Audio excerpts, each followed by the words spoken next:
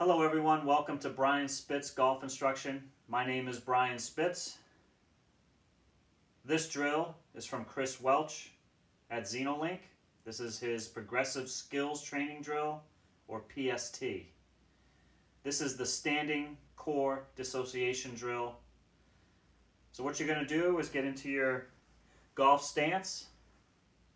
You're going to have a little bit of bend in the hips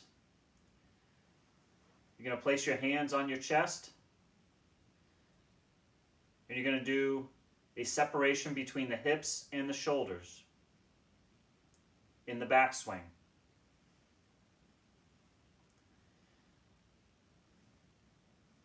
So we're just doing the backswing.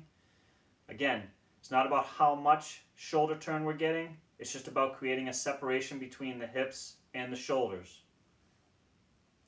As I'm doing this, I'm creating a stretch in the abdominals and in the core. This is the standing core dissociation drill.